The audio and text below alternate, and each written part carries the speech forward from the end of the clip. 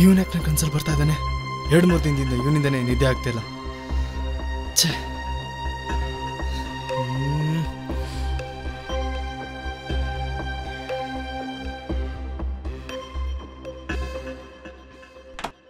ಅಚ್ಯುತ್? ಅಚ್ಯೂತ್ ಎದಳಪ್ಪ? ಎಷ್ಟೊತ್ತು ಮಲಗ್ತ್ಯಾ? ಸೂರ್ಯ ನೆತ್ತಿ ಮೇಲೆ ಬಂದಿದ್ದಾನೆ. ಎದಳು ಮೇಲೆ? ಏನಮ್ಮ? ಅಲ್ಲಪ್ಪ ಇನ್ ಸ್ವಲ್ಪ ದಿನದಲ್ಲಿ ಪೊಲೀಸ್ ಆಗ್ತ್ಯಾ? ಇಷ್ಟೊತ್ತು ಮಲ್ಕೊಂಡ್ರೆ ಹೇಗೆ? ರಾತ್ರಿ ಎಲ್ಲ ನಿದ್ದೆ ಇಲ್ಲ. ಅದಕ್ಕೆ ಎಷ್ಟೊತ್ತರೆಗೂ ಮಲ್ಕೊಂಡಿದ್ದೆ. ರಾತ್ರಿ ಎಲ್ಲ ಏನ್ ಮಾಡ್ತಿದ್ದೆ? ರಾತ್ರಿ ಎರಡು ಮೂರು ದಿನದಿಂದ ಒಬ್ಬ ಕನ್ಸಲ್ ಬರ್ತಾ ಇದ್ದಾನೆ. ಅದಕ್ಕೆ ಸರಿಯಾಗಿ ನಿದ್ದೆ ಮಾಡೋಕ್ಕಾಗ್ತಿಲ್ಲ. ಎಲ್ಲಾರ್ ಕನ್ಸಲ್ ಹುಡುಗಿರ್ ಬಂದ್ರೆ ನಿನ್ ಕನ್ಸಲ್ಲೇನೋ ಹುಡುಗ ಬರ್ತಿದ್ದಾನೆ? ಅಮ್ಮ ಇದು ಕಾಮಿಡಿ ಮಾಡೋ ವಿಚಾರ ಅಲ್ಲ. ನನ್ನ ಕನ್ಸಲ್ ಯಾರು ಬರ್ತಾ ಇದ್ದಾನೆ ಅಂತ ಗೊತ್ತಾ ನಿಂಗೆ? ಯಾರು? ಕೆಲವು ದಿನಗಳಿಂದ ನಮ್ಮ ಬಿ ಎಂ ಪಿ ಜಿಲ್ ಒಬ್ಬ ಸೂಸೈಡ್ ಮಾಡ್ಕೊಂಡಲ್ಲ ಅವನೇ ನನ್ನ ಕನ್ಸಲ್ ಬರ್ತಾ ಇರೋದು. ಅವ್ನ್ ಯಾಕೆ ನಿನ್ ಕನ್ಸಲ್ ಬರ್ತಿದ್ದಾನೆ ನಿಮ್ಮಿಬ್ರಿಗೂ ಮುಂಚೆ ಏನಾದ್ರೂ ಪರಿಚಯ ಇತ್ತಾ? ಇಲ್ಲ ಮುಖ ಪರಿಚಯ ಅಷ್ಟೇ. ಅವ್ನು ನನ್ನ ಲೈಬ್ರರಿ ಫ್ರೆಂಡ್ ರೂಮೇಟು ಅದಕ್ಕೆ ಆಗಾಗ ನೋಡ್ತಿದ್ದೆ. ಎರಡ್ ಮೂರು ದಿನದಿಂದ ಕನ್ಸಲ್ ಬರ್ತಿದ್ದಾನೆ ಅಂತ್ಯಾ? ಇದನ್ನೆಲ್ಲ ನಂಗೆ ಮುಂಚೆ ಯಾಕೆ ಹೇಳಲಿಲ್ಲ? ಮೊದ್ಲೇದ್ ರೆಡಿ ಆಗು. ಯಾವ್ದಾದ್ರೂ ಜ್ಯೋತಿಷಿ ಹತ್ರ ಹೋಗಿ ಬರೋಣ ಅಮ್ಮ ನಂಗೆ ಸ್ವಲ್ಪ ಕೆಲಸ ಇದೆ. ಅದು ಮುಗಿಸ್ಕೊಂಬರ್ತೀನಿ. ಆಮೇಲೆ ಹೋಗೋಣ. ಅಚ್ಯುತ್ ಹಾಗೆ ಅಡುಗೆ ಮನೇಲಿ ಟೀ ಇದೆ. ಹೋಗ್ತಾ ಕುಡ್ದು ಹೋಗು. ಆಯ್ತಮ್ಮ ಹಾಗೆ ಡ್ರೆಸ್ ಚೇಂಜ್ ಮಾಡ್ಕೊಂಡು ಹೋಗ್ತೀನಿ.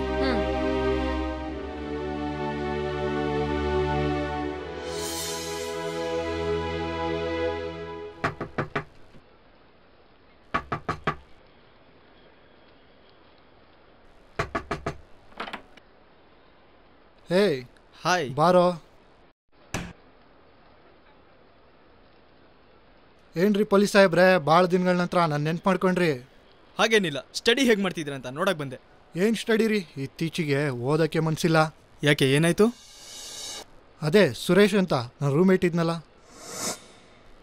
ಹ್ಞೂ ಗೊತ್ತು.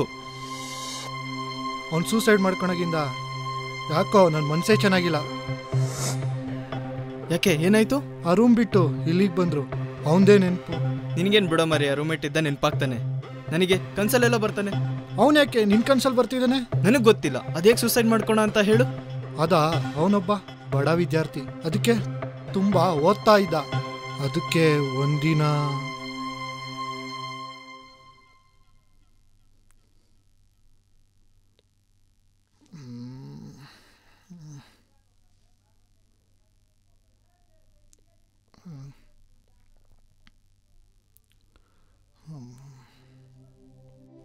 ಏನಣ್ಣ ಇಷ್ಟೊತ್ತಾದರೂ ಓದ್ತಾ ಇದ್ದೀರಾ? ಜಾಬ್ ಬೇಕಂದ್ರೆ ಓದ್ಬೇಕಲ್ವಾ?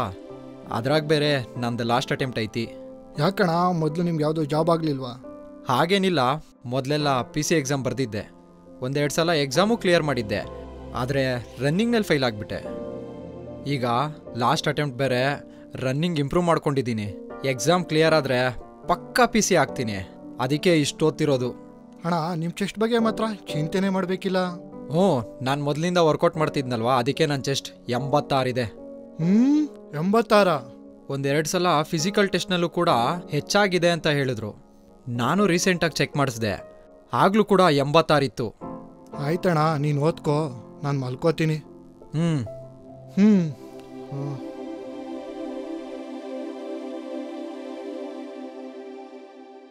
ಅವನೇಗೆ ಸೂಸೈಡ್ ಮಾಡ್ಕೋಣ ಅಂತ ನಿನ್ನ ಕೇಳಿದೆ. ತಡೀರಿ ಸಾಹೇಬ್ರೆ ಅಷ್ಟೋದಿ ಪಿ ಸಿ ಎಕ್ಸಾಮ್ನ ಕ್ಲಿಯರ್ ಮಾಡಿದ್ರು. ಆದರೆ ಫಿಸಿಕಲ್ನಲ್ಲಿ ಚೆಸ್ಟ್ ಬರಲಿಲ್ಲ ಅಂತ ರಿಜೆಕ್ಟ್ ಮಾಡಿದ್ರು. ಅದಕ್ಕೆ ಡಿಪ್ರೆಷನ್ಗೆ ಹೋಗಿ ಸೂಸೈಡ್ ಮಾಡ್ಕೊಂಡ್ರು. ಅದೇ ಚೆಸ್ಟ್ ಬರಲಿಲ್ಲ ಅಂತ ಹೇಳಿದ್ರು? ಎರಡು ಸರಿ ನೋಡಿದಾಗ್ಲು. ಅವಾಗ್ಲಿ ಚೆಸ್ಟ್ ಚೆನ್ನಾಗಿತ್ತು? ಇವಾಗ ನಾನು ಬಂದು ನೋಡಿದಾಗು ಚೆಸ್ಟ್ ಚೆನ್ನಾಗಿತ್ತಲ್ಲ ಎಲ್ಲ ಕರೆಕ್ಟ್ ಇದ್ರು ರಿಜೆಕ್ಟ್ ಮಾಡಿದ್ದಾರೆ ಕಾರಣ ಈ ಸಲನು ಪಿ ಸಿ ಸ್ಕ್ಯಾಮ್ ಆಗಿದೆ. ಹಂಗಂದ್ರೆ? ಆದ್ರೆ ಕೆಲವು ಶ್ರೀಮಂತರು? ಯಾರ್ದೋ ಇನ್ಫ್ಲುಯೆನ್ಸ್ ಇಂದನೋ ಅಥವಾ ಹಣದಿಂದನೋ? ತಮ್ಮ ಮಕ್ಕಳ ಹೆಸರನ್ನ ಲಿಸ್ಟಲ್ಲಿ ಬರೋಂಗೆ ಮಾಡ್ತಾರೆ. ಅದರಿಂದ ಕಷ್ಟಪಟ್ಟು ಓದಿ ಎಕ್ಸಾಮ್ ಕ್ಲಿಯರ್ ಮಾಡಿದವ್ರನ್ನ ಹೇಗಾದರೂ ಫೇಲ್ ಮಾಡಿ ಆ ಜಾಬ್ನ ಅವ್ರು ಕೊಡ್ತಾರೆ. ಅದಕ್ಕೆ ಸುರೇಶ್ ಅಣ್ಣನಂತವರು ಬಲಿ ಆಗ್ತಾರೆ. ಇದಕ್ಕೆ ಸ್ಕ್ಯಾಮ್ ಅಂತಾರ? ಮೂಕಣ ಇದನ್ಯಾರು ಕೇಳೋರೇ ಇಲ್ವಾ? ಯಾರು ಕೇಳ್ತಾರೆ? ಇಂಥ ನ್ಯಾಯ ಕೇಳೋರೆ. ಈಗ ಮಾಡಿದ್ರೆ? ಪಾಪ ಸುರೇಶ್ ಅಣ್ಣ. ಸರಿ ನಾನು ಹೋಗಿ ಬರ್ತೀನಿ. ಸರಿ ಆಯ್ತು.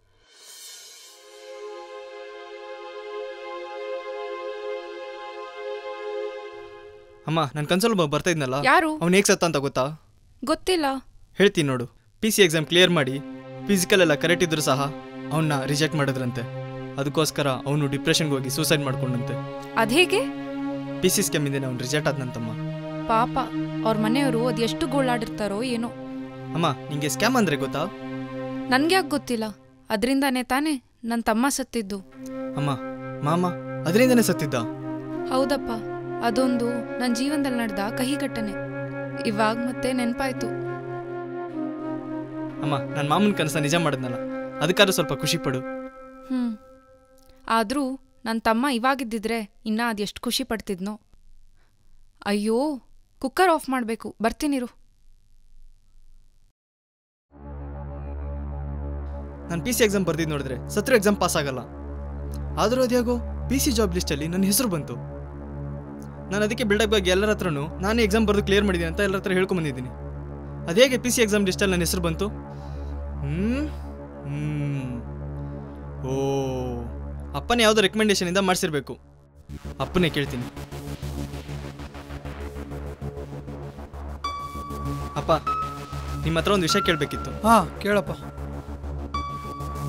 ನಾನು ಹೇಗೆ ಪಿ ಸಿ ಆದೆ? ನೀನೇ ಹೇಳ್ದಲ್ಲ ಎಕ್ಸಾಮ್ ಕ್ಲಿಯರ್ ಮಾಡೋದಂತ ಅಪ್ಪ ಅದೆಲ್ಲ ಶುದ್ಧ ಸುಳ್ಳು. ನನಗೆ ಗೊತ್ತು ನೀವೇನು ಮಾಡಿಸಿದ್ರಿ ಅಂತ ನಿಜ ಹೇಳಿಯಪ್ಪ ಏನು ಮಾಡಿದ್ರಿ? ಹೌದು ನಾನೇ ನಿನಗೆ ಇನ್ನೊಬ್ಬರ ಹತ್ರ ರೆಕಮೆಂಡಿಂದ ಪಿ ಸಿ ಮಾಡಿಸಿದೆ. ಹ್ಞೂ ಮಾಡ್ತೀನಿ ನಿಮಗೆ ಅದರ ಅವಶ್ಯಕತೆ ಇರಲಿಲ್ಲ ಅಪ್ಪ ನಾನೇ ಎಕ್ಸಾಮ್ ಬರೆದು ಕ್ಲಿಯರ್ ಮಾಡ್ಕೊತಿದ್ದೆ. ಆದರೆ ಈ ವಿಷಯ ಈಗ ಅಮ್ಮಂಗೆ ಗೊತ್ತಾದ್ರೆ? ಅವಳಿಗೇನು ಗೊತ್ತಾಗಲ್ಲ? ಹೋಗು ನೀರು ತೊಗೊಂಡ್ ಬಾ. Mummy mummy! ಏನೇ ನಿಂದು? ನೀನು ಅಚ್ಚು ಅಣ್ಣ ಪೊಲೀಸ್ ಎಕ್ಸಾಮ್ ಬರ್ದು ಪಾಸ್ ಆಗಿದ್ದಾನಂತ ಅಷ್ಟೊಂದು ಜಂಬ ಕೊಚ್ಕೋತಾ ಇದೆಯಲ್ಲ? ಅವನೇನು ಪೊಲೀಸ್ ಎಕ್ಸಾಮ್ ಬರ್ದು ಪಾಸ್ ಆಗಿಲ್ವಂತೆ ನಮ್ಮಪ್ಪನೇ ಯಾರಿಗೂ ರೆಕಮೆಂಡ್ ಮಾಡಿ ಪೊಲೀಸ್ ಮಾಡಿರೋದಂತೆ. ಇದನ್ನೆಲ್ಲ ನಿನ್ಗೆ ಯಾರು ಹೇಳಿದ್ರು? ಕೆಳಗಡೆ ಅಪ್ಪ ಮತ್ತೆ ಅಣ್ಣ ಮಾತಾಡ್ತಿದ್ರು ಕೇಳಿಸ್ಕೊಂಬಂದೆ. ಮೊದ್ಲು ಅವ್ರನ್ನ ಕರಿ ನಡಿ. ಹ್ಮ್ ಇವಾಗ್ಲೇ ಹೋಗಿ ಕರಿತೀನಿ.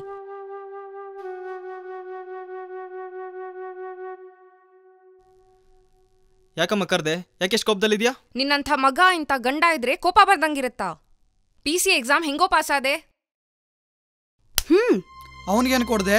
ನಿಮಗೆ ಹೊಡೆಯೋಕ್ಕಾಗಲ್ವಲ್ಲ ಅದಕ್ಕೆ ಅವ್ನ್ಗೆ ಹೊಡೆದೆ ನಿಮ್ಮಂಥವ್ರಿಂದ ಎಷ್ಟು ಹುಡುಗರು ಕಷ್ಟಪಟ್ಟು ಓದಿ ಜಾಬ್ ಇಲ್ದಂಗೆ ಒದ್ದಾಡ್ತಾ ಇದ್ದಾರೆ ಇನ್ ಕೆಲವರು ಸೂಸೈಡ್ ಮಾಡ್ಕೊಂಡು ಸಾಯ್ತಾ ಇದ್ದಾರೆ ಅಂಥ ಅಪ್ಪ ಅಮ್ಮನ ಕಷ್ಟನ ಯಾರು ಕೇಳೋರು? ಅಂಥವ್ರ ಶಾಪ ಒಂದಲ್ಲ ಒಂದಿನ ನಿಮ್ಗಳಿಗೆ ತಟ್ಟೆ ತಟ್ಟುತ್ತೆ. ದುಡ್ಡು ದೊಡ್ಡಸ್ಕೆ ಇದ್ರೆ ಅದರಿಂದ ಒಬ್ರಿಗೆ ಉಪಯೋಗ ಆಗ್ಬೇಕು. ಈ ತರ ಹಾನಿ ಆಗ್ಬಾರ್ದು. ಈ ನೀತಿ ಬರೀ ಕಾಡಲ್ ಮಾತ್ರ ಇಲ್ಲ, ನಾಡಲ್ ಸಹ ಇದೆ. ಅಂದಿನಿಂದ ಇಂದಿನವರೆಗೂ ಉಳ್ಳವರು ಇಲ್ಲದವರನ್ನ ತುಳಿತಲೇ ಬಂದಿದ್ದಾರೆ. ದೇಶ ಬದಲಾದರೂ ಕೂಡ ಈ ನೀತಿ ಬದಲಾಗಿಲ್ಲ.